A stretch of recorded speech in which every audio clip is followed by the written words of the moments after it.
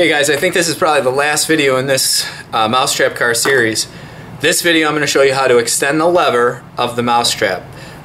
We're going to use the existing lever and we're going to make it three times longer which is going to help slow down the wheels so that your car can move forward farther. Now this isn't the only option. There's other ways that you can do this. You can also take this lever out and put a longer lever in by using like a, a metal coat hanger or something like that. But we're just going to use the existing mousetrap. So watch closely as I do this and you guys are on YouTube so you know you can slow down the steps to see exactly what I've done. So here I am with a, an empty mousetrap attached to my mousetrap car. The first thing I'm going to do is deactivate the mousetrap. So I'm going to take the spring lever off of the gold lever, the, the mousetrap lever, just by using my fingernail and popping this off.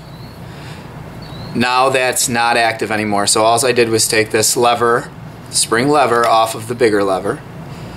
Now I'm going to need a pair of pliers to take apart some of the some of the mousetrap.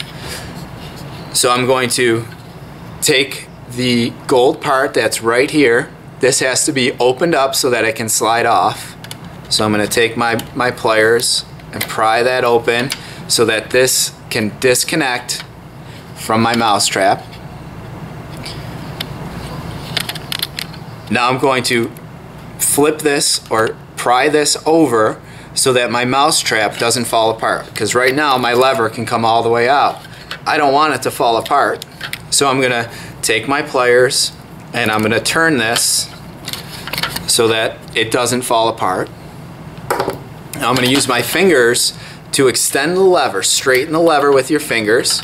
And now I have a, a lever that is one, two, three times longer than it originally was. I'm going to use my pliers and I'm going to close the end so that I have a closed loop that I can work with.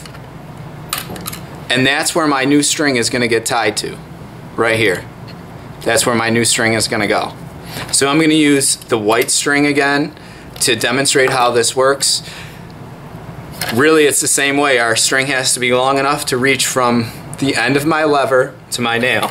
So I'm going to take my string, try to fish it through this tiny little hole that I made, but hopefully it's going to hold really well.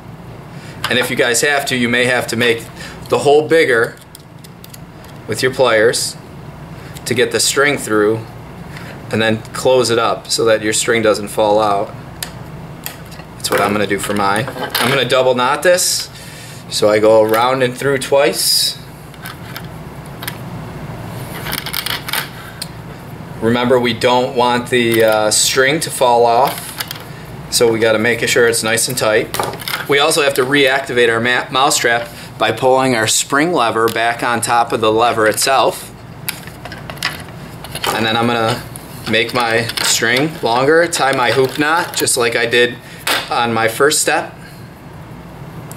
Make a hoop, pass it around and through. Cut the extra off. Now I have a string that should be long enough to go from the end of the lever to the nail. So I can load this by same as the way as before. I'm going to pull the lever back.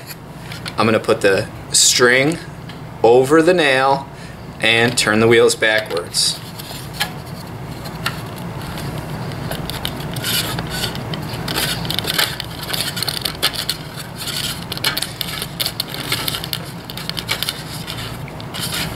Now I'm ready to put it on the ground and let it go. So I have the same chain of reactions, the same uh, energy transfers as before. When I let go of the lever, I get energy to go from the spring to the lever to the string to the nail to the axle to the CD adapters to the CD to the ground. It's just by making a longer lever, I slow down the action and actually make the string longer. So here, let's see what happens when I let go.